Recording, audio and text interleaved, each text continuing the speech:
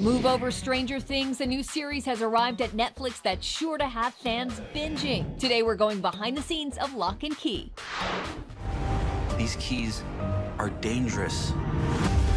We don't know what they unlock. After much anticipation, Locke and Key has finally arrived. It's based on the popular graphic novel series by Joe Hill and Gabriel Rodriguez. I had this one idea for a horror story about a house that was almost alive, and it would be full of these enchanted keys.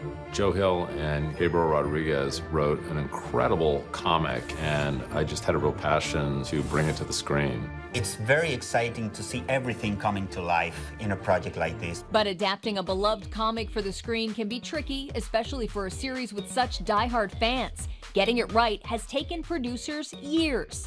One of the more challenging aspects of translating from the comic book was the head key. Literally, your brain opens up as if it were a lid. And the most iconic image is this double page spread in which the Locke kids peek into the head of Bode Locke.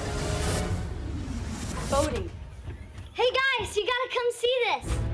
In our version of the head key, it sticks in the back of someone's neck so you can physically walk into your own brain. For co-creator Joe Hill, the whole experience has been a head trip. What is it?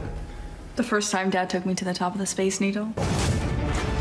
We told you not to screw around with the keys.